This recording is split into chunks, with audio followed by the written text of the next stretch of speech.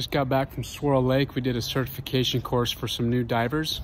And uh, I didn't have my camera with me. I should have brought it, but I, I brought my pulse finder. I just got this from Kellyco Products. And uh, I will put uh, their link down in the messages here if you want to do any underwater metal detecting. It was awesome.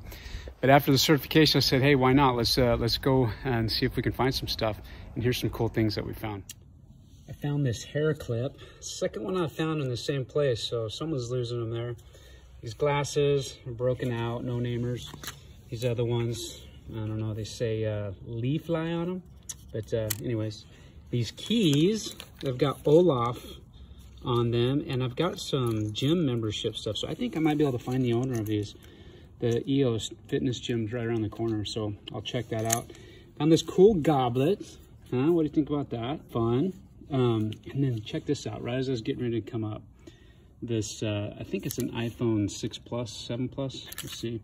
Um, but it looks like it's in pretty good condition. It was in a good uh, um, watertight uh, bag here. And uh, so I'll get this out and dry it out and see if we can find the owner. So stay tuned till the end and you'll see us giving it back to him. The phone has been drying out for 24 hours and I get the honors of plugging it in to see if it works. We're gonna see if we can find the owner to this phone. Are you ready?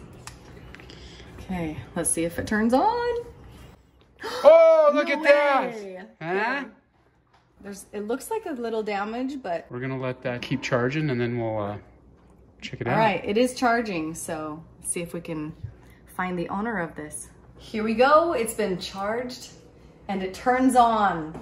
So we're gonna take this SIM card. It is password protected, so we're gonna take the SIM card and see if we can find these this owner. I'm excited. Okay, we found the phone number. Steve's gonna make a call now. I'm now. gonna make a call. Are you And nerv- Send. Are you nervous? No. Your call has been forwarded to an automatic voice message system. Okay. For finished recording, you may hang up or press 1 for more options. Hi, this is Steve. I am a scuba diver and I was out at Saguaro Lake over the weekend and I think I found something that belongs to you. I'd like to get it back to you if you could give me a call back. So we finally found the owner of this phone that we've been searching for everywhere. We, we were, did some things, moved the SIM card around, trying to find, we finally found a phone number, called it, instantly got a voicemail. I was like, oh great, maybe it's just, it's gone. So I Googled the phone number and I found um, a Facebook and an Instagram. And so I sent her an, an email and I got a response back this morning. Anyways, you can go check her out on Jeannie Bees on Instagram. She's actually a musician and she was, um, I think she tried out on, on American Idol as well. She's got some cool music. But this phone I found out from her today, wait for it, was underwater for a year and a half. Are you kidding me? So I'm not a sponsor of this brand at all, but Yoshi, Yoshi Y-O-S-I-I, it was in this watertight, waterproof case and it survived for a year and a half. So since she's out of country, her dad's coming over tonight. We're gonna chat with him and get this phone back to her, but um, kind of a cool story. I mean, a year and a half later to find this find this phone, really cool. Hey, how are you? It's okay. Jake, Steve, good to meet you. nice to meet you too. Come on in. Thank you.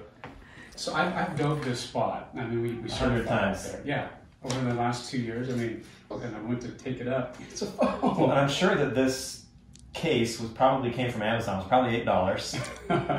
and I remember my daughter texting me from someone else's phone saying she'd lost it. uh-huh. And as you know, a lot of times it's not that they cost a lot of money, which they do. Right. It's finding the backup and finding another phone Yeah, and talking to the carrier and getting it all switched up. It's such a pain. And I tell my wife, I don't care as much about the phones, but all the drama surrounding it is so much trouble. So thank you. That's exciting. Yeah, you bet. It's funny that it's got this thing around it, which you would think means, hey, Right.